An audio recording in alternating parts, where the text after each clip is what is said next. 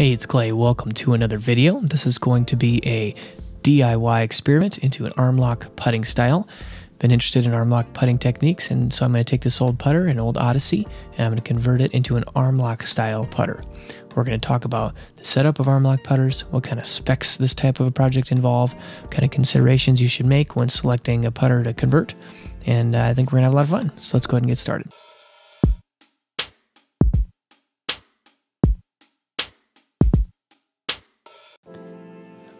Let's go ahead and take a look at an arm lock style putter and see if we can do a little bit of a dive into the specifications, how these putters work, some of the considerations you need to make.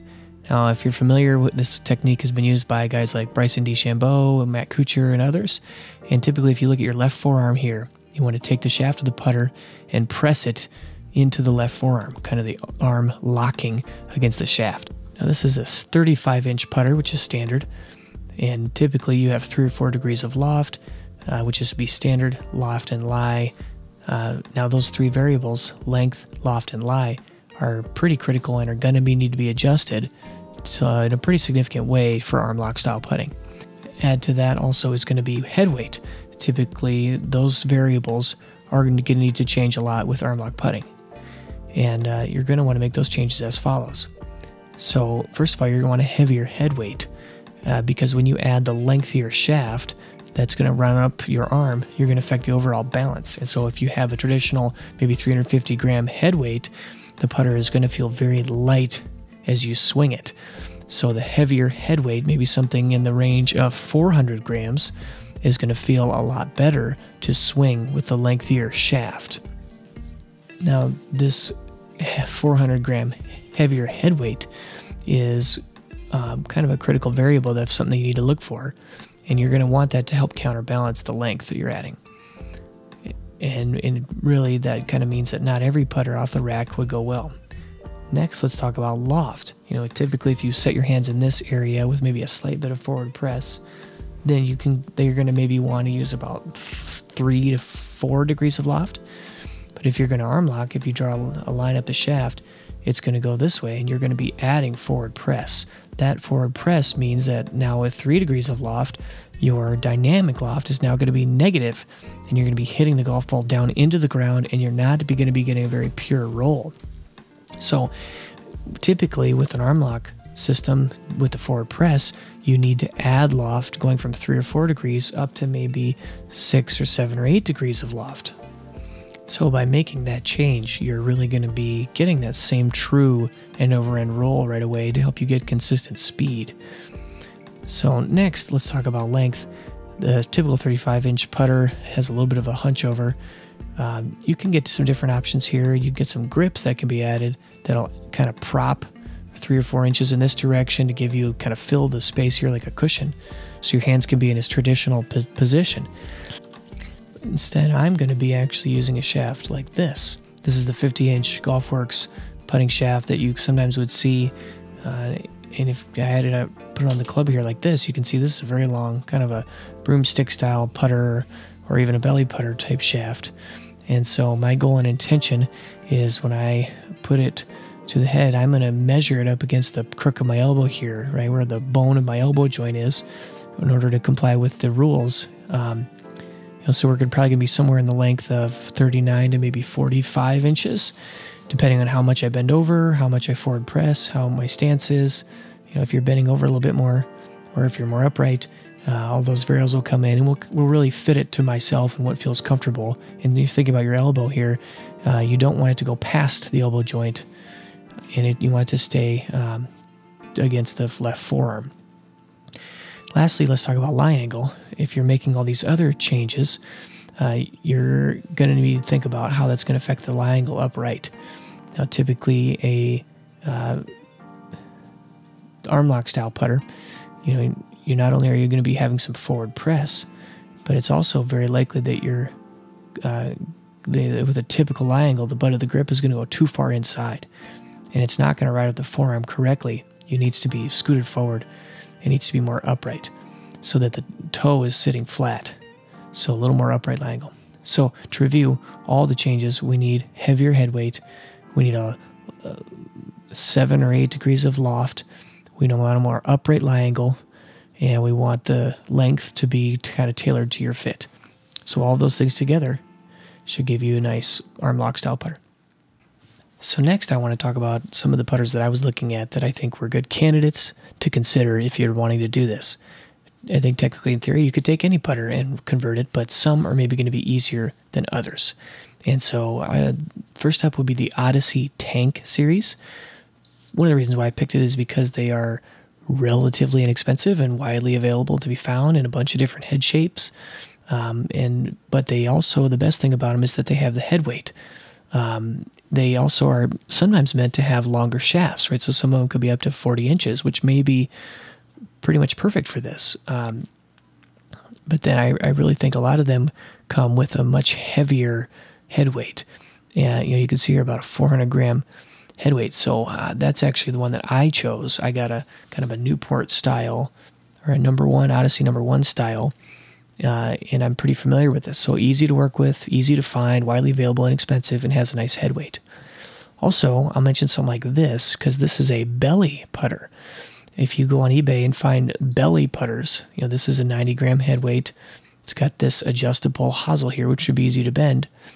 Um, and, and also belly putters typically are, are made with longer shafts and heavier head weights. So just a couple of maybe suggestions or, or considerations to make when thinking about picking a putter. You know, maybe what I would stay away from would be like a really old school Ping Anser. You know, those things are probably going to be like 315 grams, and you put a long shaft on it, and it's going to feel really, really light. Or also, I would be a little slow. You know, you want to think about the hosel, right? Um, I don't know if I would want to do a hosel like this just because I'm not as familiar with bending it. Whereas, um, you know, uh, uh, the putter style that I've gone with has that plumber's neck on it, which I think is going to be really easy to bend and really easy to work with. So those are just some of the considerations I was making when picking out my putter. All right, let's go ahead and get started. First step is going to be to take the old shaft off of my new putter head. This is my Odyssey tank number one. So I've got a rubber shaft clamp. We're going to be put it in the vise like this. I'm going to screw the vise in as follows. We're going to get the blowtorch out, light it up, and nuke it until the glue melts and the head comes off. Let's rock and roll. All right, I got my fire starter here. We'll click this and light up the torch. My torch looks like it's getting a little bit low, but we're going to give it the best shot nonetheless.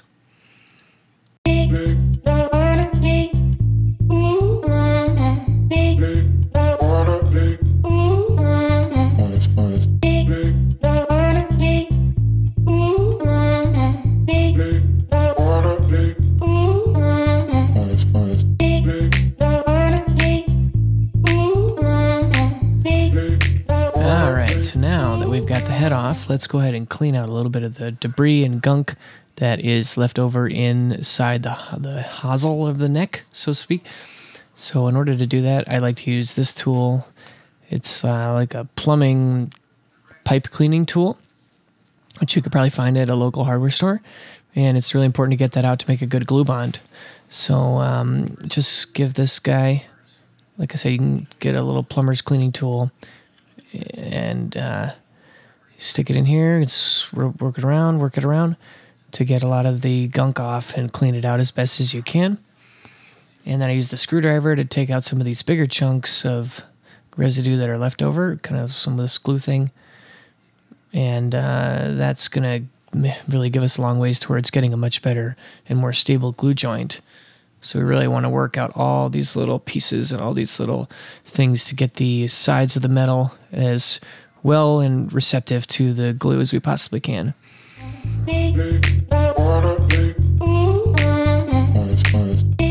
So after I'm done with that, then I actually have another tool. This is a little drill bit that I got from Golfworks that has that same cleaning action on the end, but it has a chuck that it can be installed inside a drill driver. So I pop this in my drill cordless drill, and I give it a couple spritz here inside just to really make sure that all the dust and particles inside here get out with a little bit more of this power tool action.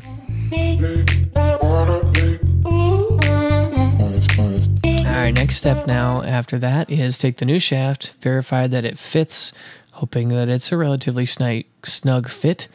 This one has a tiny little bit of play, uh, looseness. You can see rocking it back and forth. Um, you know, it's possible. I'd say this is probably within spec, but um, you know, the putter shaft, I think this is going to be fine for my purpose. I, I know that getting the lie angle a little more upright than standard is a priority, so I'm going to lean it, prop it up as that glue dries to get maybe just a couple degrees of upright lie angle. So I think I should be all right.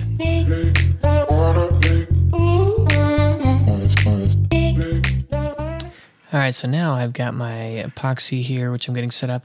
Uh, before I did that off camera, I did also take some sandpaper and I braided the end to just get the tip of the shaft ready to go. And so now this is my epoxy. This is Golf Work epoxy. It's a two-part, one-to-one. And what I do is I draw a little bead here, uh, just kind of a straight line, guesstimating how much I'll need with the black first, and then I take the clear and I try to make the same line. Um, this isn't a perfectly scientific way to do it, but I find that it does work well enough uh, to make nice strong bonds, and I haven't had anything fail uh, doing using this method.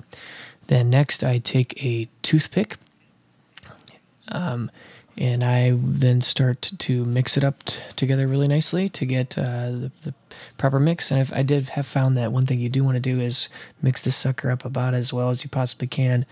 I try to count to 30 uh, just to give it your really, really thorough mix.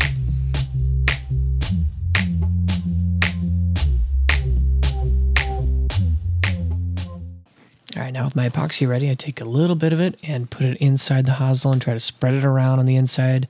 Um, this is a pretty short little hosel, so you do want to make sure you get some good coverage. Then I try to paint the tip here of this shaft with epoxy, and uh, and we just insert it. I like to give it a little bit of spin as I go through, just a little bit of a wiggle. Make sure I'm trying to cover and coat everything as possible. Then I go to try to set it down in its final resting spot as it dries. And then I'll get a paper towel. I try to wipe off the excess. I found that you really want to be thorough and wipe off every little bit of glue that you possibly can because this is the time to do it. Once the glue dries, it's a lot harder to deal with.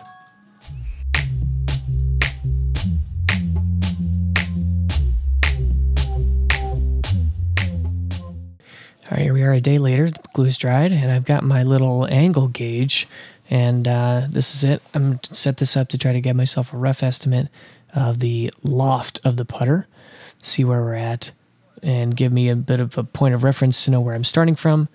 And so uh, yeah, I've done a little bit of modifications to this.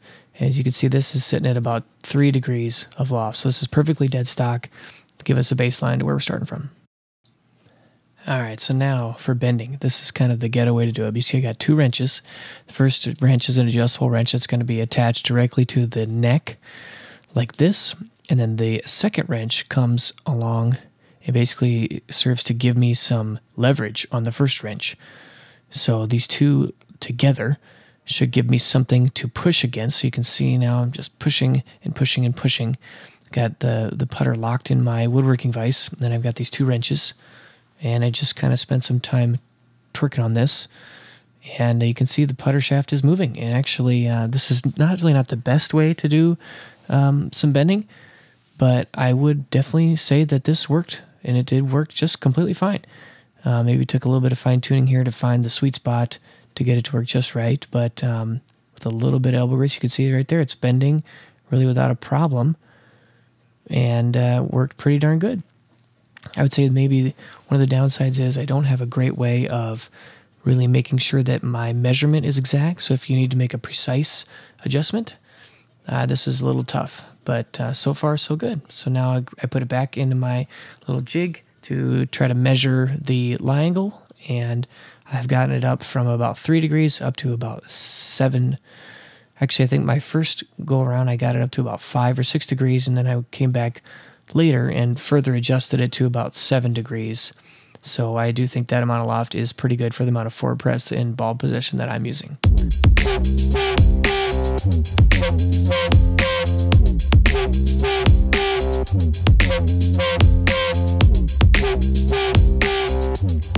All right, now let's talk about how I approach the process of making it the correct length. Basically, I've got the full length shaft here and I'm measuring to the bone of my left elbow, the kind of the crook of my left elbow. And I think according to the rules, that's about as maximum as I can go. But I'm trying to figure out now if I stand pretty upright. Yeah, I want to I want to lean towards giving myself the most amount of room because it's always easy to cut it down further, but it's difficult to add it back on. So we're going to cut this a little bit high. Um, so if I find the crook of my elbow here with a pretty upright stance, I'm going to make a brown mark, and that's where we're going to cut it. So now if I measure that, that gives me a rough estimate of, I believe, about 46 inches of length, which is uh, definitely on the longer side. But um, like I said, I want to give myself a little extra room, and I can always cut it down from there. All right, so now is my process for cutting the shaft. I've got a Dremel tool and I've got a little metal cutoff wheel. And I basically go around my line, as you can see, and uh, just trim off this shaft. Slowly but surely I go around, and sure enough, there it goes. I give it a little squaring up here, but overall, no problem. We've got the right length shaft. Just giving it a little bit of a quick test here, and I think this is going to be a good starting point. Uh, feeling pretty good to start.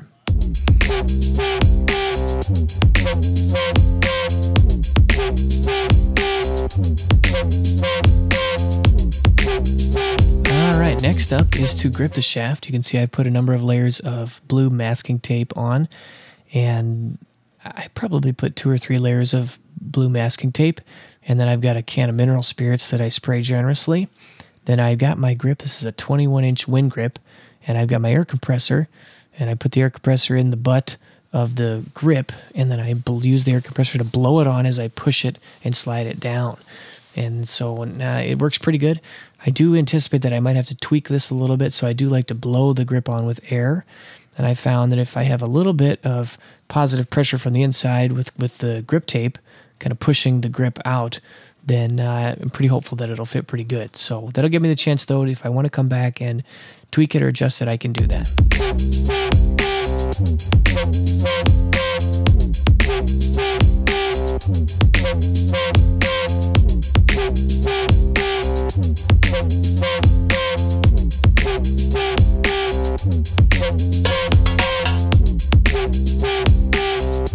Thank